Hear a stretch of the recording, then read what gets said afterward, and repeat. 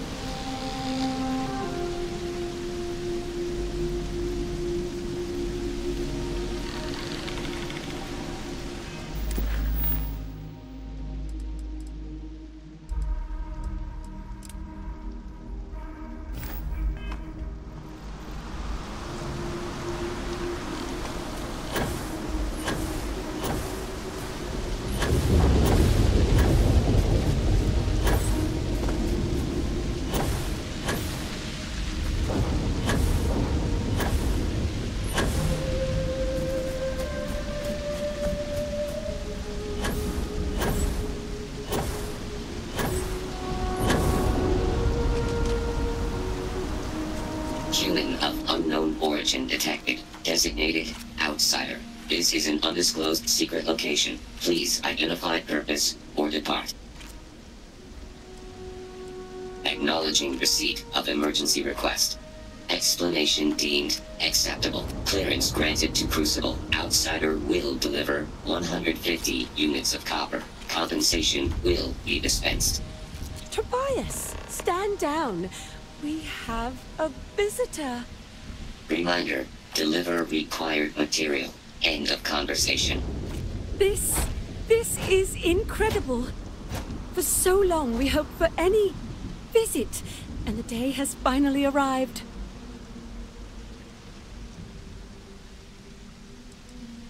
We see no one, ever.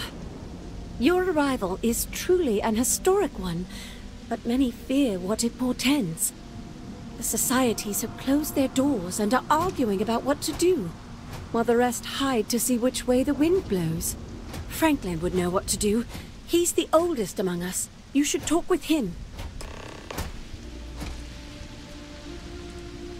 Give it time, and I'm sure the others will come out. For curiosity's sake, if nothing else.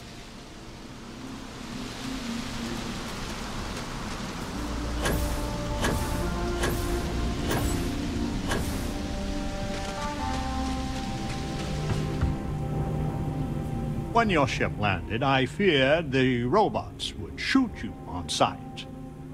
I am greatly relieved that they let you enter our community.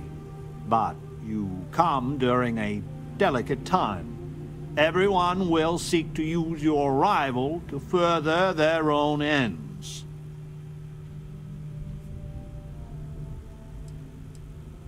What? I most definitely have never met you. A traveler like yourself must go many different places. You must have me confused with someone else. I am Franklin Delano Roosevelt, leader of the Pragmatist Society. Well, it is gratifying that even after all these years my name isn't entirely forgotten. You see, I was an American president. Well, not literally, but in a sense I was. Everyone that lives here are clones. Some of us are clones of the greatest figures of history, and others, well, we don't rightly know. When we die, and some of us die quite often, we are brought back. I cannot imagine how strange this must sound to an outsider.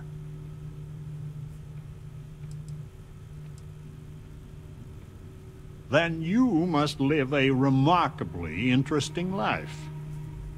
After decades, centuries, of trying to figure it out ourselves, there is so very much we don't know either. The robots clone us for a reason, their so-called mission. But what that is, and what we should do about it, is something the societies disagree about. Sometimes violently. It's best you meet with the other societies, and after, I promise I'll explain the pragmatist's position on matters.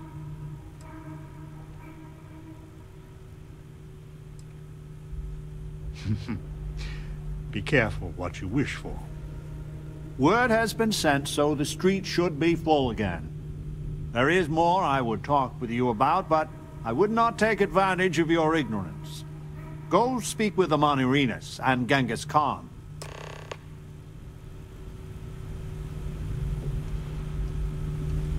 Welcome to town, stranger. Consider me part of the welcoming committee. The name's Wyatt Earp, and I'd be most pleased if you'd use one of the spare rooms during your stay.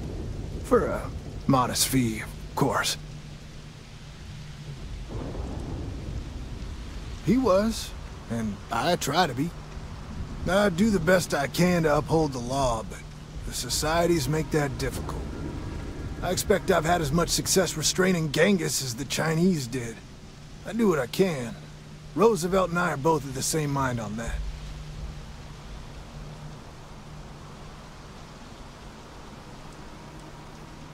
I'm for whatever side wants to keep the peace.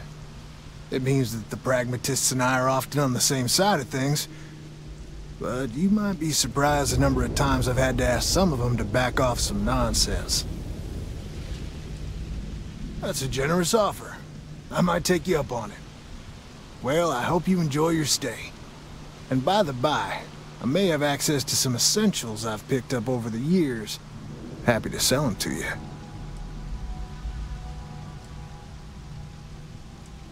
I'm hoping you come back for some repeat business.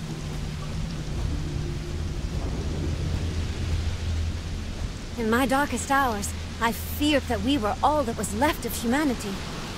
Your ship, she's a beauty. It travels the stars, right? Tell me, what's it like out there?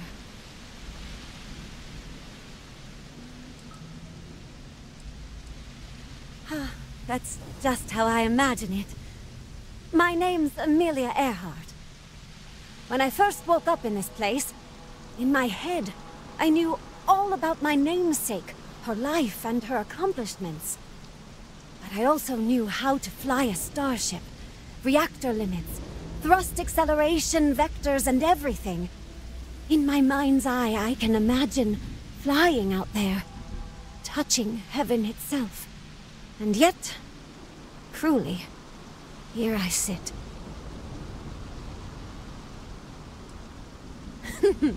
Am I that transparent?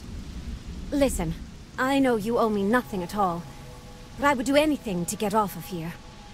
I know the societies want who knows what from you for who knows why, and I don't want to get involved in any politics. I just want, for my single self, a chance to explore.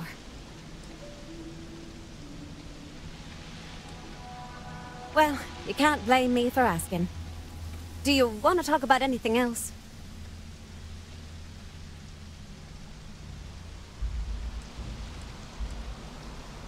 I have a few choice, unchristian thoughts about some of them. But I'm going to stay out of it. Listen, I'd understand you making any decision you have to regarding them. Any at all. I just hope you judge me separate. I don't wish harm on anyone. I just want to explore. Thanks for your time.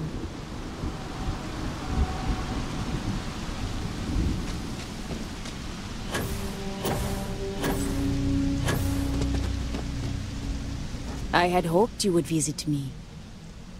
Good. Know that you stand before Queen Amanirenas of the Kush. Queen of a dead kingdom on a dead world. But I earned my name, and even the sands of time cannot take it from me. Your courtesy is appreciated, even though it rings hollow. My subjects are all dust. If you don't believe me, know you are not alone. Some clones deride me behind my back. I know this. But I feel in my bones that I am Amanirenas for true.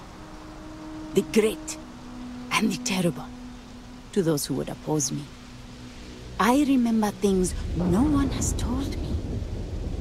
Memories of faces, betrayers, lovers, allies, and enemies. And the smells. The right scent. And I close my eyes. And I can picture all of it. So vividly. My heart. My home. My kingdom.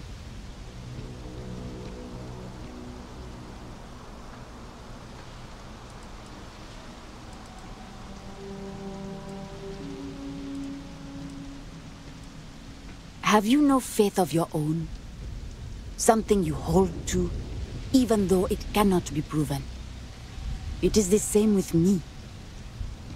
But I am certain. You speak to Amanirenas, reborn. If your mind and heart remain open, you will see the truth of it.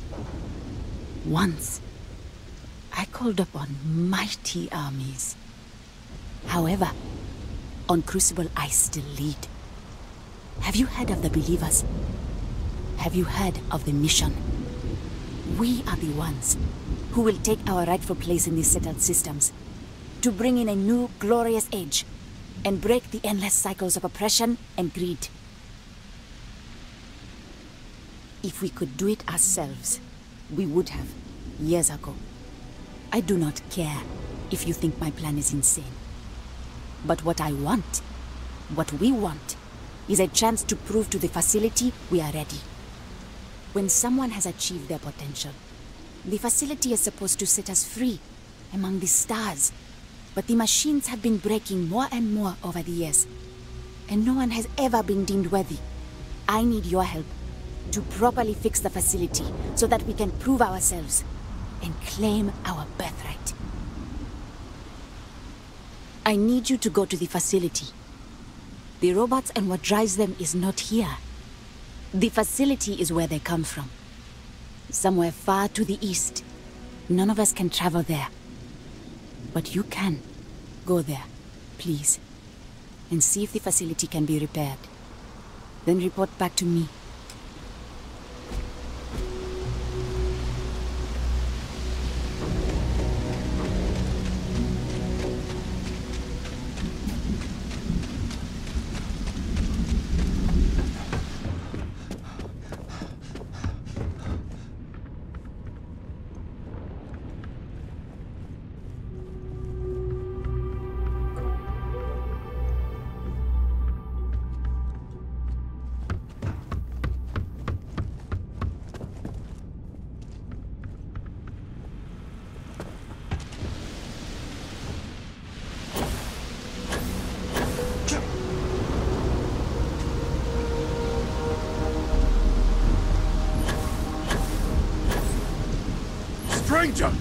Weapons out!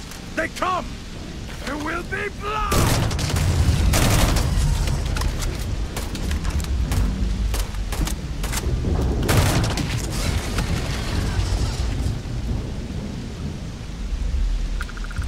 The man from the stars.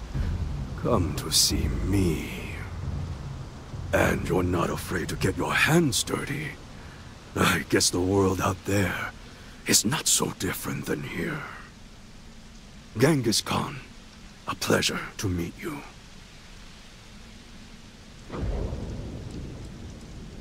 Manners cost me nothing. But make no mistake, I will do whatever it takes to escape this prison. I am pleased that the dangers out here are of no concern to you. You cannot be fully human if you trap yourself behind walls.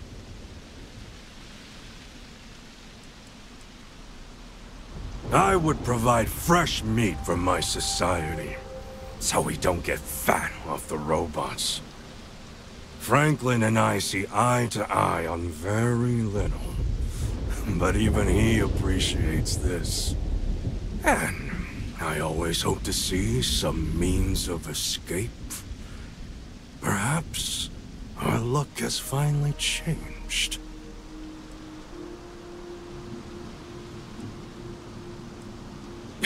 the novelty will fade. I say this from experience. So Franklin told you of us. Oh, that we're clones? Some of us think that makes us special. That the deeds of our namesakes are somehow ours. But that is blind arrogance. We are just people. Same as you. Same as anyone.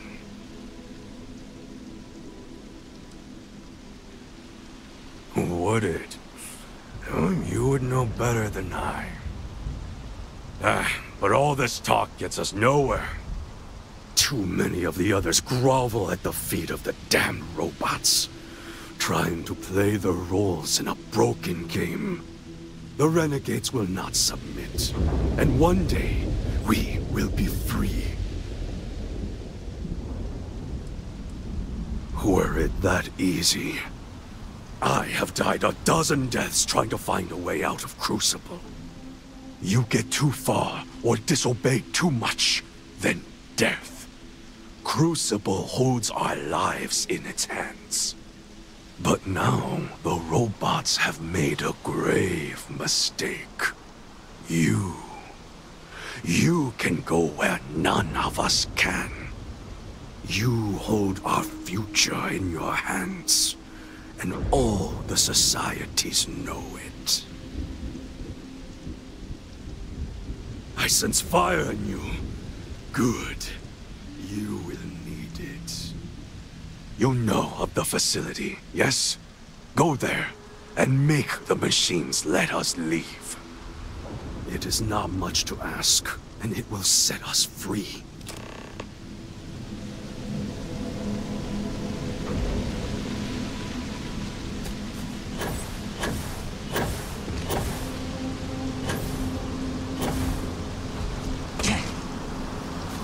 The other societies make me sick. So, you have heard from the other societies. I must confess I'm very curious what an outsider thought of them, and their positions. You might be the first objectively neutral party we've ever come across. And you'd let Genghis go free. He's caused more misery in Crucible than any other five clones combined. Given a chance, I shudder to think what he'd do if he was let loose.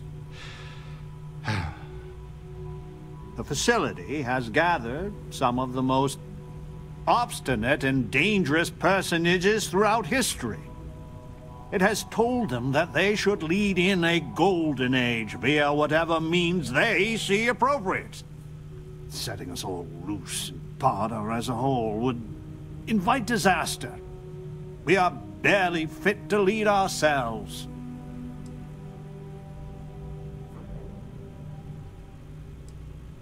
Certainly. It is evident that the facility is decaying. It is both unsustainable and unwise for us to fix and maintain the status quo. Our community must be weaned off the machines, learn how to build, grow, and govern ourselves. Allowed to raise families so we can pass our lessons to the next generation, and to die when our allotted time is finished. One day we will be worthy of going to the stars. We are just not there yet.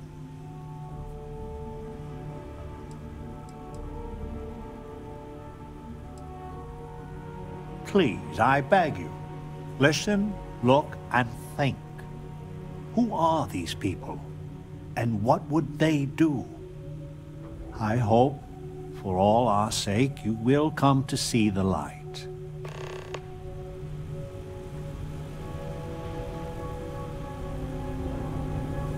Over here! We need to talk. Change is coming. Listen, it's not safe to talk here. It's about Roosevelt. There's something you need to know. Thank you. There's a, well, cave just outside town. No chance of us being listened in on. Please, come as quick as you can. Ideally, before you go to the facility. I'll meet you at the cave.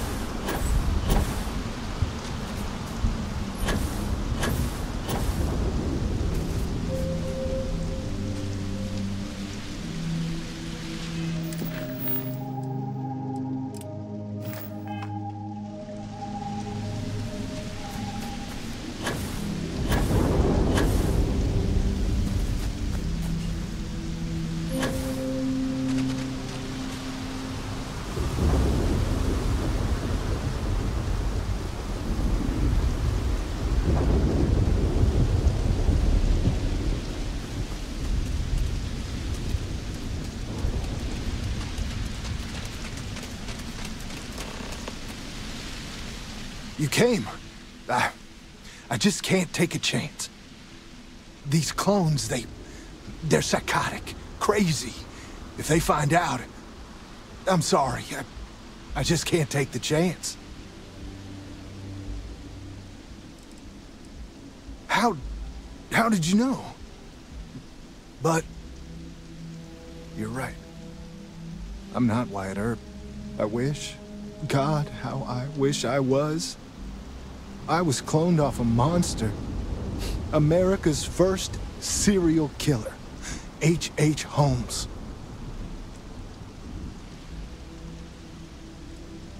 I don't want to do this. Any of this.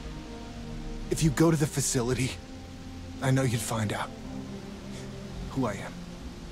And if you let any of these bloodthirsty maniacs know, they'd kill me. But no, that wouldn't be the end.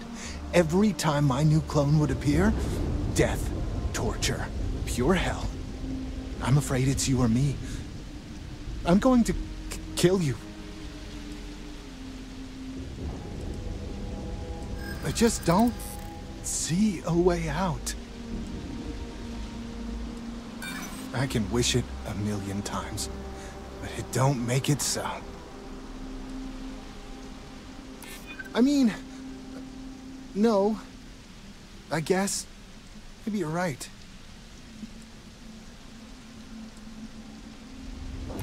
I don't want to die. I'm... I'm gonna trust you, okay? Just don't tell anyone. This... this never happened.